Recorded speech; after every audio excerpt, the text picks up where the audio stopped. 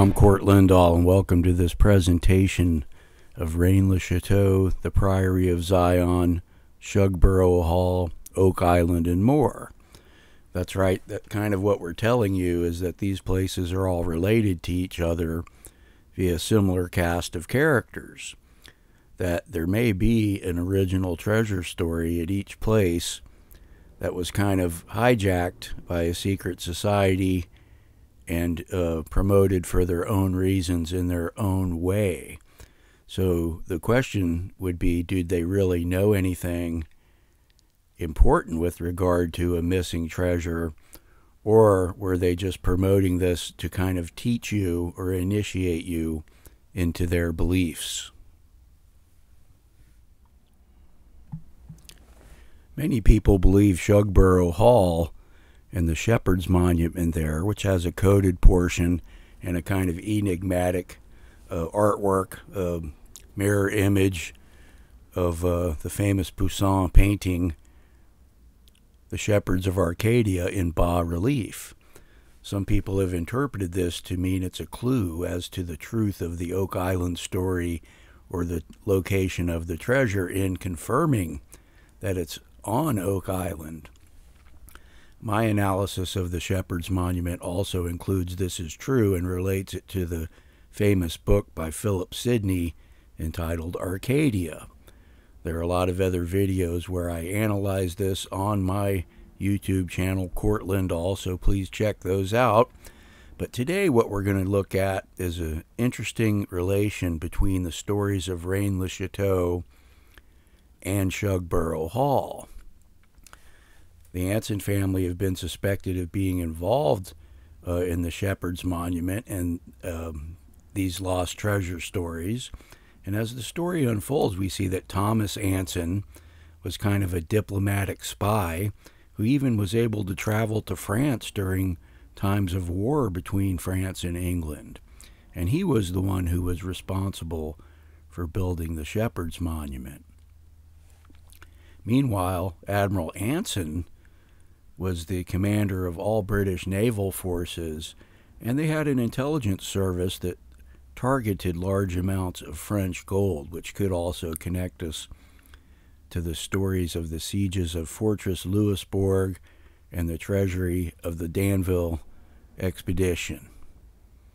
So we know that Jean Laborde was the treasurer of Fortress Louisbourg and was charged with misappropriation of what would be worth hundreds of millions of dollars today. In my books, Oak Island and the Arcadian Mystery and Timeless Arcadia Treasure Myths and Legends Revealed, I document interface between the Laborde family and Anson family. So there's something about that that doesn't seem right. This interaction involved a large art collection of Queen Christina of Sweden the founder of the Academy of Arcadia of the Vatican, which also included several works of Nicolas Poussin. So there is a lot of clues and indications via people involved in this kind of intelligence apparatus that Admiral Anson had with his fleet that targeted large amounts of gold.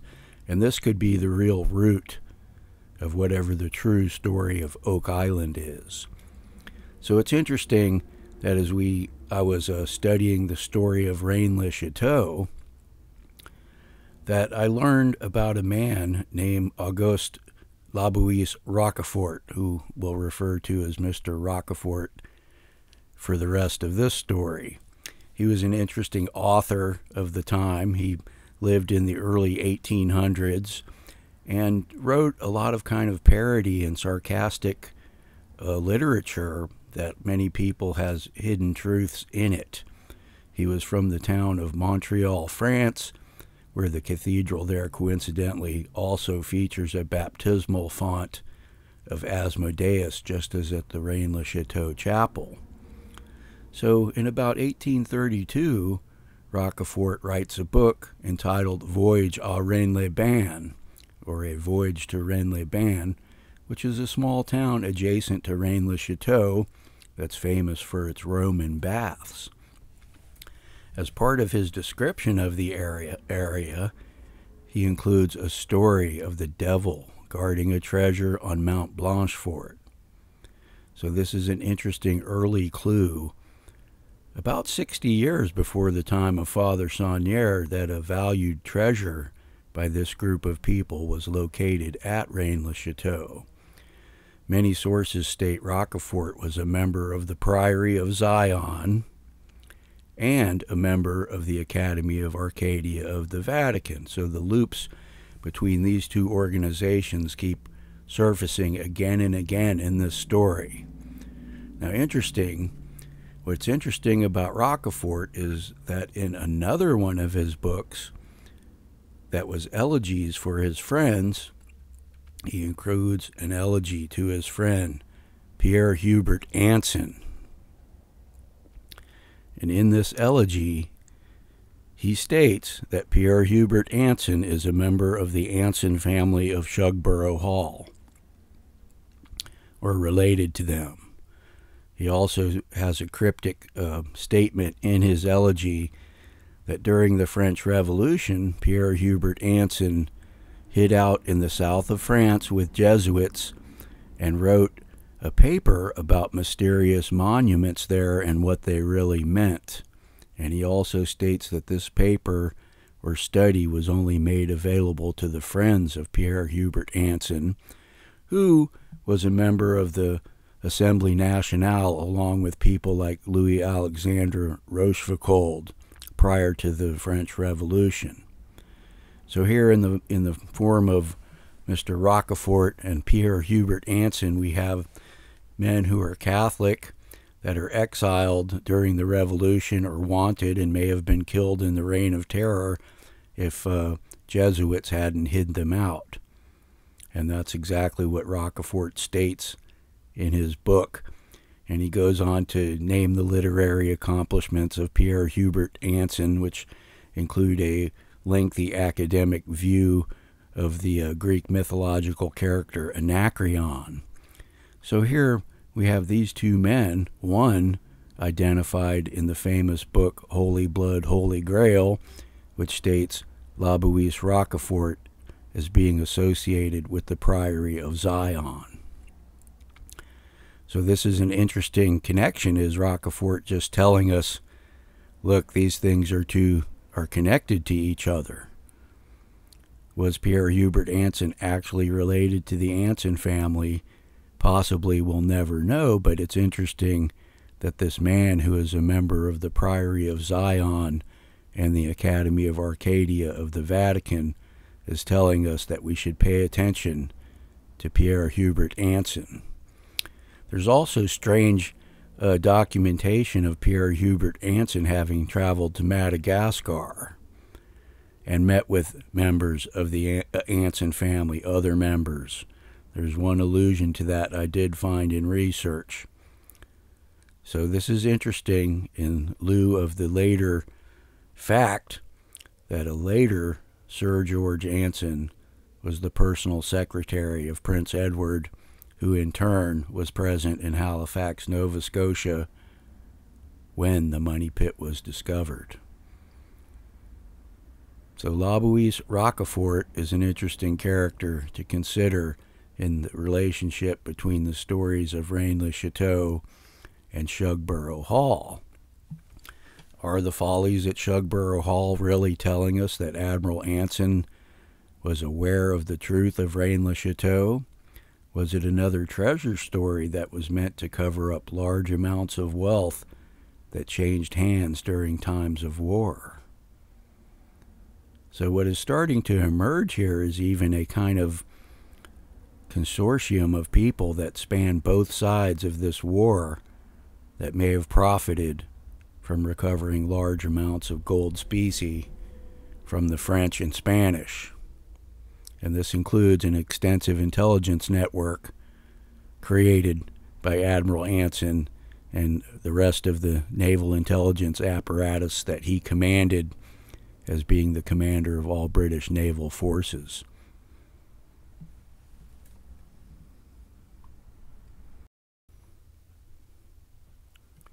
It's also interesting to note that Pierre Hubert Anson had written another academic piece on Lady Wortley Montagu, who was a famous English antiquarian who was one of the only women associated with the Society of the Dilettanti and the Divan Society of Sir Francis Dashwood, of which uh, the Anson brothers, Thomas Anson and Admiral George Anson, were members of the Society of the Dilettanti. Uh, the Dilettanti and Divan Club may have had some intelligence service overtones in that they it involved members doing the grand tour of Europe and traveling to the Holy Land in the case of the Divan Society. So we even have uh, Sir Francis Dashwood, who was a close friend of Benjamin Franklin's and famous for the quote unquote Hellfire Club at his West Wycombe estate, uh, possibly being involved in this whole scheme too, because uh, Dashwood is uh, widely considered to have been the quote spy master of England during the very era when all of these things were taking place. Uh, when Pierre Hubert Anson was alive and uh, Labouisse Rochefort.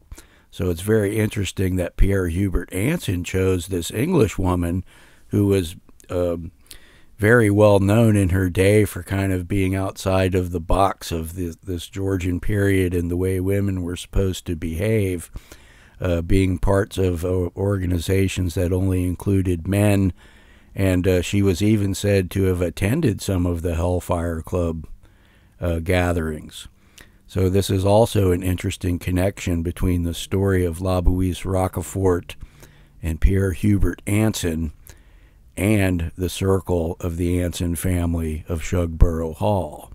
So that may serve as proof that the story is true, although it seems kind of outrageous that there would be an unknown member of the Anson family who was French, this is possible, and it also may work in tandem with Thomas Anson being a kind of diplomatic spy. As I stated before, Thomas was even known to have visited uh, Lady Pompadour, the consort of Louis XV, while these conflicts were going on. And as we'll see, Thomas Anson and Admiral Anson also likely had an association with the famous Comte Saint Germain, or more commonly known as Saint Germain, who is a figure of some importance even in today's theosophical movement.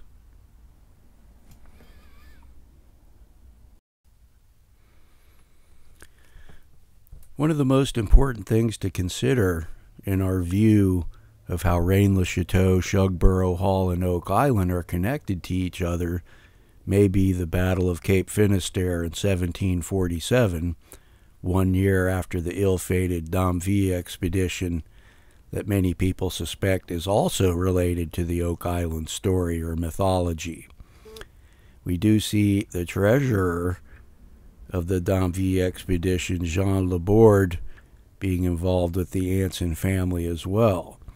So we know after the Duc d'Anville passed away that Admiral Jonquière assumed control of the fleet and returned uh, to France at that time with what was left of the fleet that had originally come and possibly deposited something on Oak Island. Uh, Admiral Jonquière was the governor of New France, and he was being brought there as part of the D'Anville expedition to assume this role. So, just the next year, about eight months later, the French uh, fleet had refurbished itself and was departing France for um, New France and uh, with a stop off in Nova Scotia again. So I think it's kind of important at this point to note that Admiral Jonquière and a lot of the other French naval officers at that time may have been privy to the truth of whatever had happened at Oak Island. That is possible. They might have at least known the fate of the gold or the payroll that they may have brought with them, and uh, originally probably meant to be deposited at Fortress Louisbourg for the time being. So Admiral Jonquière again departs France as part of the fleet. And of course, the fleet is almost immediately waylaid by the fleet of Admiral George Anson. Some of the ships bound for New France did escape, though at this time, Admiral Jonquière was captured along with a man named Blaise, Blaise d'Abbadie. Blaise d'Abbadie was later the governor of New France when it was handed over, or Louisiana when it was handed over to President Jefferson. But most interestingly, at this time, a man named the Chevalier St. George was also captured. And this is one of the oddest stories we may see in association with the Ansons and their possible role in the story of Oak Island. Admiral Anson and the Chevalier St. George became fast friends. They both played violin, and during uh, St. George's nearly year long captivity, he even associated with the Anson family at Shugborough Hall, became acquainted with Thomas Anson. He was made a member of the Spalding's Gentlemen's Club, which has a lot of Masonic overtones, and you'll see a lot of our, quote, Hellfire Club members and Dilettante Society members being also members of Spalding's Gentlemen's Club. But most amazingly, we see the Chevalier St. George given an audience with King George himself. Now, this is very interesting in that all three of these naval officers, Jonquière, d'Abbadie, and St. George, may have all had knowledge of the truth of Jacobite funds some of them may have taken part in delivering Jacobite funds to Scotland for the 1745 Jacobite rebellion just a few years prior. Uh, there are at, uh, records of Admiral Anson's fleet harassing Bonnie Prince Charlie on the way to Scotland, and Anson even commissioned a painting of this incident. So here it, it, it's interesting that we have these three French naval officers captured that St. George becomes close friends with the Anson family and even attended social functions where the Comte Saint Germain was present. At this time, he had spent a few years in England, and my analysis does reveal that uh, Saint Germain was most likely a Hanoverian spy working as part of the circle in tandem with Thomas Anson and the British naval intelligence apparatus of Admiral Anson. So it is amazing that St. George shortly uh, later is returned. Uh, Comte Saint Germain also goes to France, warns of the French Revolution and all the famous interface he had with Madame Pompadour, who was also a good friend of Thomas Anson's. So the Chevalier St. George may be part of the spy apparatus. It's strange that they had this close friendship and that Thomas Anson even met uh, St. George in France after he had been released when he was traveling there. Again, even though it was a time of war, Thomas Anson somehow was allowed to travel to France. Though this may have been a normal uh, diplomatic function of whatever his real job was. So interestingly, too, uh, there, this is just kind of the nadir of a few really mysterious and interesting historical stories, even beyond Oak Island, in that the family of Blaise d'Abbadie is famous for the story of the great cyclic cross of Hendaye in France that is featured in an enigmatic book entitled Mystery of the Cathedrals written by the equally enigmatic Fulcanelli, who nobody knows who he really is. So the story of Chateau Abbadia and uh, kind of the Basque nationalist sensibilities of Blaise d'Abbadie and his later ancestor Antoine d'Abbadie and Arnaud Abbadie all created a landscape mystery similar to that at Shugborough Hall at their Chateau Abbadia near Hendaye, France. So that's an interesting connection. Blaise was later the governor of French Louisiana and had a personal correspondence with President Jefferson concerning the turnover of Louisiana to the United States uh, when Napoleon sold it to America. So Jonquière is a person of interest as well. He would have known what was going on with wherever the payroll had been put or whatever the story related to Oak Island was.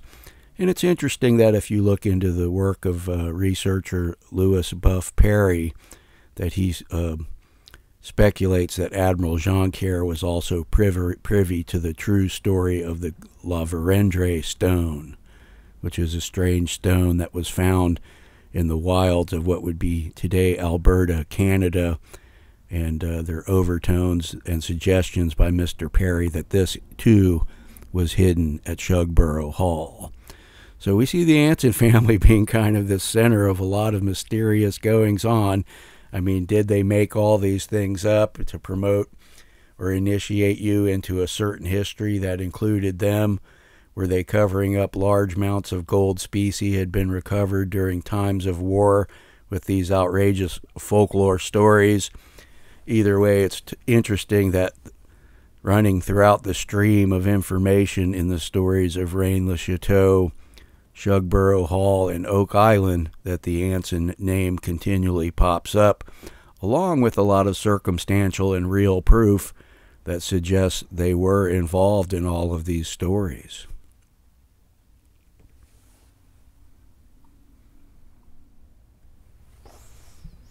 So, thank you very much for joining me in this examination of how Shugborough Hall, Rennes-le-Chateau, and Oak Island are kind of connected together through this web of intelligence service activity aimed at recovering large amounts of gold.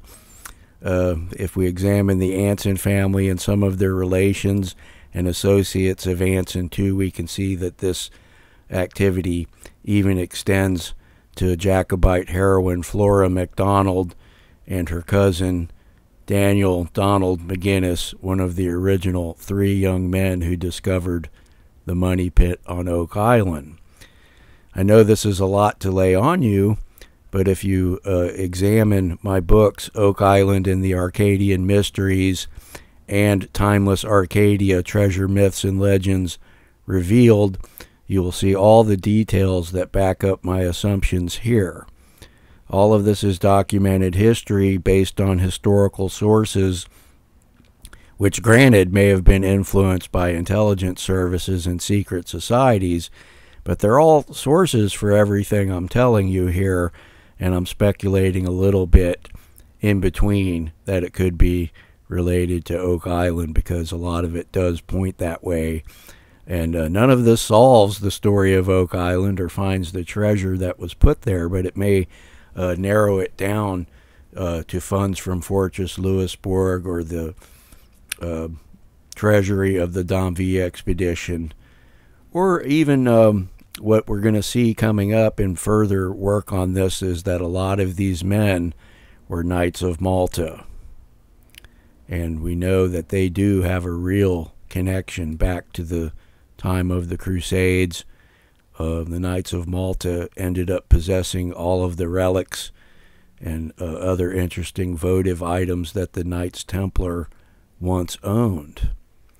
So some of these things may have made their way to America.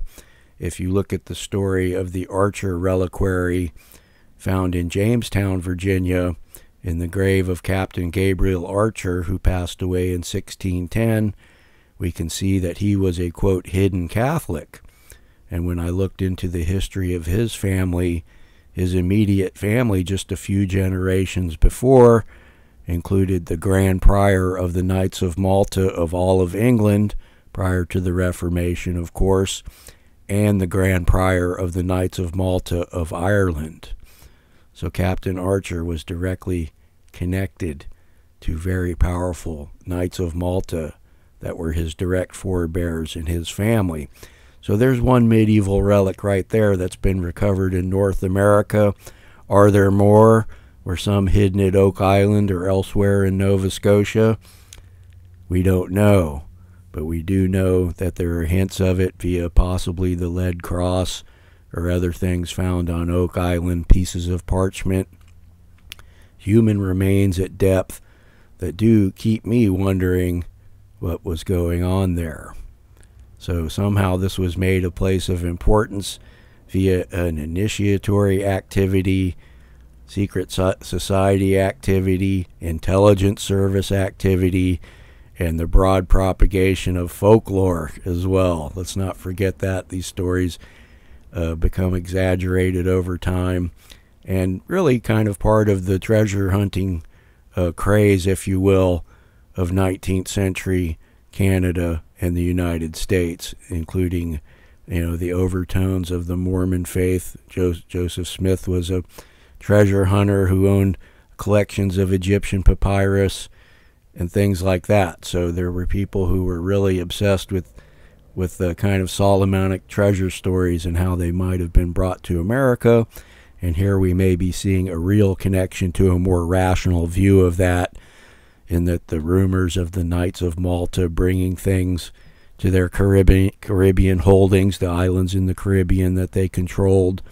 And uh, the story of the Archer reliquary does indicate there could be some truth, not as quite as exciting as the Ark of the Covenant or anything like that, that uh, this folklore has grown to include, but there may be a real root truth to some of those legends in addition to the millions and millions of dollars in missing gold during times of war that may have been recovered under the auspices of Admiral George Anson.